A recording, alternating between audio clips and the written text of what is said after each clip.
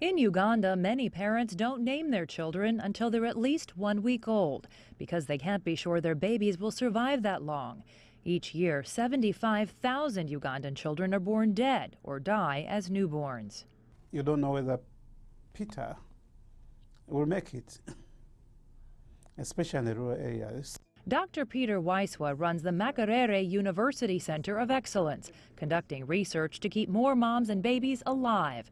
He says 6,500 Ugandan mothers die each year, often because they can't get access to quality care while giving birth. He says that's a problem throughout sub Saharan Africa and South Asia. It's the same in Africa and Asia. Um, the window of opportunity is just too short, and the, the health system is not delivering many times during that window. Dr. Waiswa says more Ugandan mothers and babies die on nights and weekends simply because health workers don't want to work during those hours. He says global goals are important, but many countries still need more local government leadership to achieve them. It's a, a very high mountain, and sometimes I wonder whether the global knows what it takes or it would take to climb this mountain. At a recent conference in Washington, D.C., Dr. Waiswa joined other global health leaders to discuss solutions, like the ones being adopted in India, where health workers are now getting special training in neonatal care.